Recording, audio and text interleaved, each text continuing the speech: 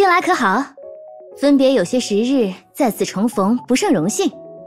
此前一别，我便孤身游历，行至天穹市南郊城区后，我觉察周遭情况有变，诡秘灵异事件频现，似有宵小作祟。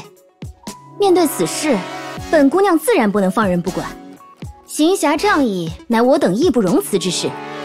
不过，至于我是如何赶跑敌人的，哼，且容我卖个关子。喂，干嘛那样看着我呀？哎，好吧，我承认，这都是从说书先生那里学来的。毕竟这样听起来比较厉害嘛。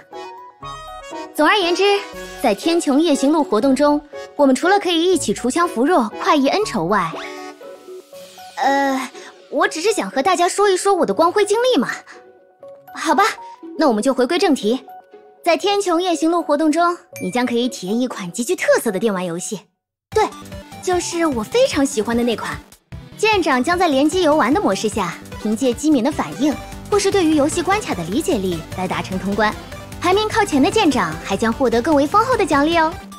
天穹夜行路的活动关卡虽然令人眼花缭乱，但总计可以分为三类，分别为竞速类、生存类与得分类。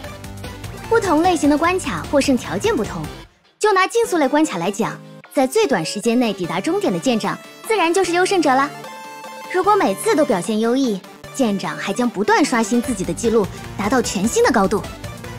此外，生存类关卡则需要舰长尽可能久地保持存活，而得分模式下的关卡则需要舰长将目标设定为达到指定得分。天穹夜行路每天都会开放多张地图关卡，舰长在进入游戏前可以来回切换并进行查看。不同地图中还会有特殊的技能供舰长使用。恰到好处的技能释放，可以帮助舰长有效干扰对手，从而获取胜利。不过这些技能也是有冷却时间与使用次数的，请谨慎使用哦。进入地图关卡后，舰长将有可能遭遇各式趣味机关：移动的转盘、晃动的摆锤、滑不溜秋的地面，还有极其危险、随时会碎裂的地面。这一切都将为舰长带来全新的挑战。也请舰长在面对不同关卡时。采取正确应对措施，并得以顺利通关。舰长可以通过在天穹夜行路内创建房间，并邀约好友一起体验活动。进入匹配后，舰长将与其他十余位舰长同台竞技。如果舰长可以提前通关，则还可以悠闲地通过观战系统来观看其他舰长的游戏视角。在游戏中胜出，并不断刷新自己的记录，可以提升舰长在游戏内的积分。持续获取积分，还可以解锁部分全新的角色形象。解锁后获取的角色形象虽然没有额外增益加成，但却能向其他对手展示自身实力。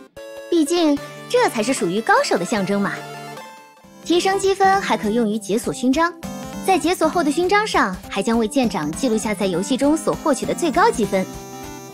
另外，参与天穹夜行路还可以通过兑换获得水晶与无限世界之蛇的全新服装哦。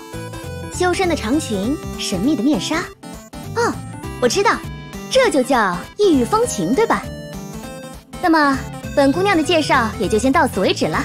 他日江湖相逢，你我当再言欢解愁。今日咱们就此别过。